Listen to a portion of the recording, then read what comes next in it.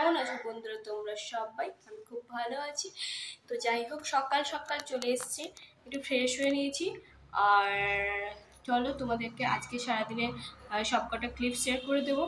তো আজকে একটু বেরোবো, একটু মন্দিরে যাব। তো চলো, স্নান ফান করে একদম ফ্রেশ হয়ে নিই, তারপর তোমাদের সঙ্গে কথা বলছি। চলো। তো রেডি হয়ে গেছি। এবার বেরোবো। তো কারণ অনেকটা লেট হয়ে যাবে, না হলে রোদ্দুর তো আর তো চলো বেরিয়ে পড়ি আর তোমাদের সঙ্গে শেয়ার করে দেবো ওখানে। চলে এসছি আমরা দক্ষিণেশ্বরে। কি রোদ্দুর। এই যে আমার পল্লবী।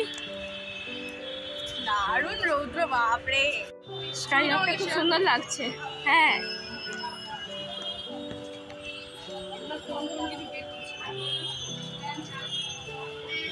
আর এখান দিয়ে যেতে খুবই আরাম লাগছে।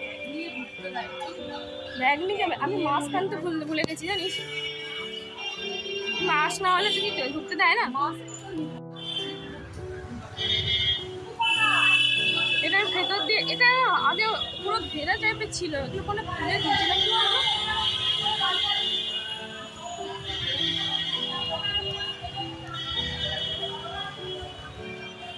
তারা কিনে নিলাম। যাচ্ছি মন্দিরের থেকে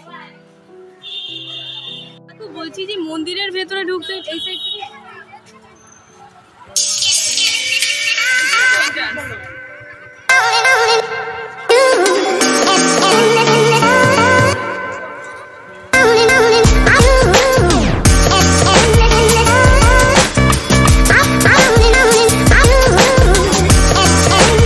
সাবমিট করতে হবে। পুজো দেওয়া হয়ে গেল। এবার আমরা বাইরে ঘুরছি। একটু ঘুরে ঘুরে চারদিকটা দেখে নিচ্ছি। খুব সুন্দর, না? বাইরের দিক থেকে এইটা তো সবসময় দেখ- দেখতে পাই বাইরে থেকে মানে আমরা যখন ওই দিক থেকে বাসে করে আসি ট্রেনে করে আসি। পল্লবী গেছে নিচে একটু মুখে জল টল দিয়ে ভেজাতে। বোনা গেছে, দাঁড়িয়ে আছে। কি সুন্দর দেখাচ্ছে। বাড়ি থেকে আসার সময় ট্রেন বা বাসে করে আসার সময় এটাগুলো দেখতে পাই। পেছনে ঘাটে আর এখন যা গরম পড়েছে, মনে হচ্ছে গিয়ে জলে পড়ে গিয়ে। কি দারুণ। আর ওই পারে বেলুর মঠ ওই সাইড দিকে দেখে আছে। বেলুর মঠে যেতে খুব ইচ্ছে করছে, কিন্তু এখন তো বেলুর মঠে ভেরি বন্ধ আছে। তো এখন যেতে পারব না।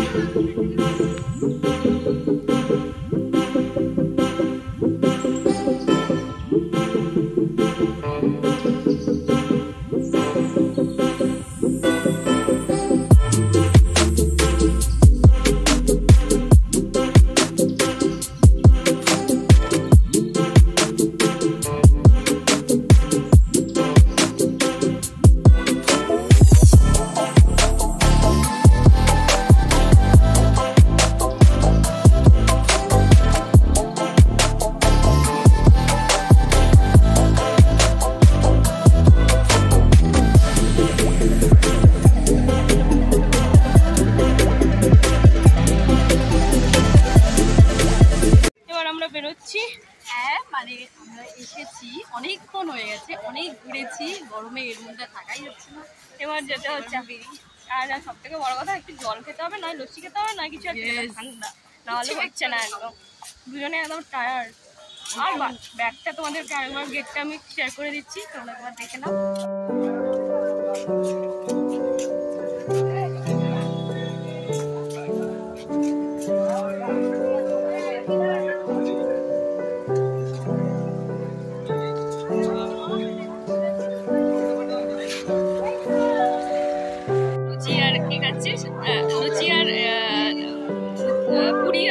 আর কারি ছোলার ডাল নেবে খিদে পাচ্ছিল অ্যাকচুয়ালি তো এখানে অনেক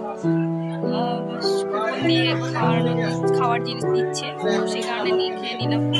এত জটলা পাকে কি হচ্ছে বুঝতেই তো পারছি না। দেখা যাক কি হয়েছে। কি হয়েছে এখানটাতে? টাটা।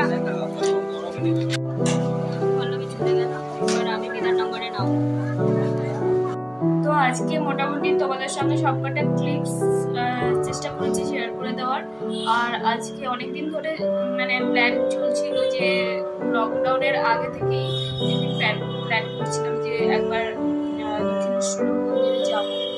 বাট ওই আর কি কিছুতেই হয়ে উঠছিল না উঠছিল না, কারণ কি বিভিন্ন কারণ নিয়ে চলতে মানে কখনো একা একা করে আর যেতে ভালো লাগছিল না, কেউ একজন থাকলে বেটার লাগে। সেই কারণে সেইভাবে কাউকে পাচ্ছিলাম না। তো তারপরে ভাব মানে বিভিন্ন লকডাউনে তো এখানে ছিলাম না কলকাতাতে। তো সেই কারণে মানে আর চারিদিক তো এই ছিল প্রবলেম ছিল। যাই হোক, তো তারপরেও এক বছর ধরে আমি যখন কলকাতাতে আছি, তখনও অবধিও সময় হচ্ছিল না গিয়ে পুজোটা দেওয়ার। তো যাই হোক মানে মানে ফাইনালি আমি এটা আজকে আজ পুজোটা দিলাম, খুব ভালো লাগল। তো যাই হোক, তোমাদের সঙ্গে ক্লিপসগুলো শেয়ার করে দিলাম। আর মোটামুটি ওখানে ভেতরে তো অ্যালাউ নেই, কারণ ভিডিও করা কি ফটো তোলার মোবাইল সাবমিট করে দেওয়া, সেটা সবাই মোটামুটি জানো। তো যাই হোক, সে ভেতরের তো কোনো পিকচার দিতে পারব না, আর দেওয়ার কোনো এ নেই। তো বাইরের মোটামুটি কয়েকটা করেছি বাট আজকে এতটাই রোদ্দুর ছিল আর এতটাই গরম ওয়েদার ছিল যে আর কিছুই ভালো লাগছিল না। তারপর এমনিতেও পুজো দিতে একটু দেরি হয়ে গেছিল।